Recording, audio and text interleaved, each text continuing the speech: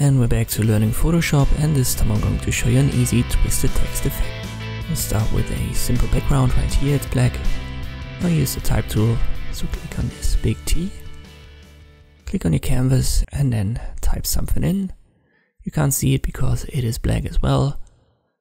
Let me switch to white and I use the paint bucket tool in the background. And now we can see the text and we've got a white background.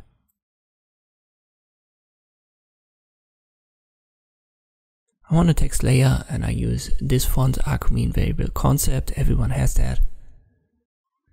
Let me press Ctrl T on the type layer and then I size it up.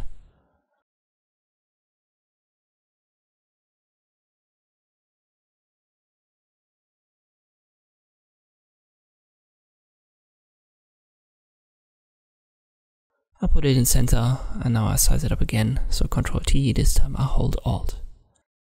Let me use the type tool again, T. I click on this text element, then Ctrl A to select it all, Ctrl C to copy. I go to the end and then I press enter and I paste it in to have it multiple times created like this. Now I press Ctrl A to select it all, I switch to the move tool and I center my text. Don't worry too much about the text, we can adjust it later on, but we'll have to convert it to a smart object. So right click on the text layer, click on it, then Control T and you can switch right here to the warp menu.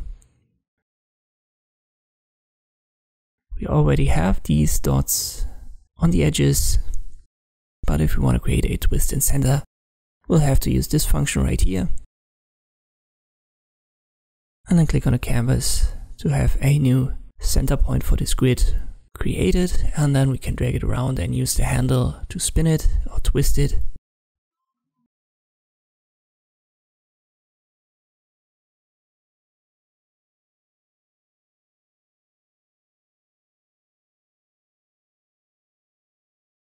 Let me add a second one and it looks fine.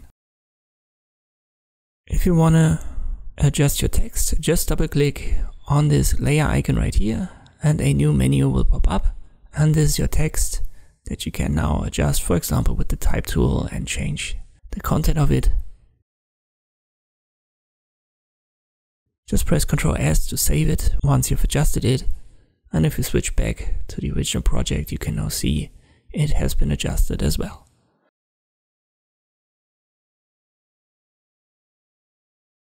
We can also adjust the background. Let us, for example, give it a different color. I'll just use the paint bucket tool and then left click on it. Black is not a good choice as our text is black, so let me use kind of like an orange color, maybe this. And again, I click on the canvas and this changes the color of my background. I like to add some noise on top and I keep the value in between 4 to 5. And this is how you can create a twisted text effect in Photoshop. I hope this video was helpful, thanks for watching and I'll see you next time.